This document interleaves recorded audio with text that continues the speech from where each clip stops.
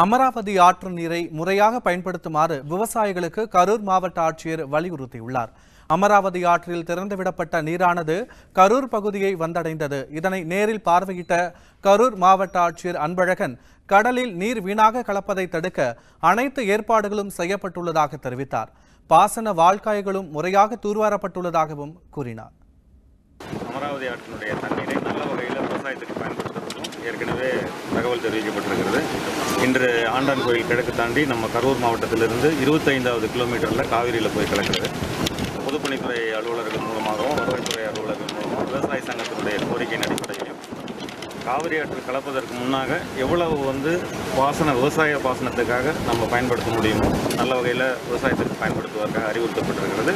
பொதுப்பணித்துறை அதிகாரிகளும் தொடர்ந்து அதனுடைய வாய்க்கால் மூலமாக விவசாயிகளுக்கு நீர் சென்றடைய அனைத்து ஏற்பாடுகளும் செய்திகளை உங்கள் கண்முன் கொண்டு வரும் காவிரி நியூஸின் யூடியூப் சேனலை சப்ஸ்கிரைப் செய்யுங்கள்.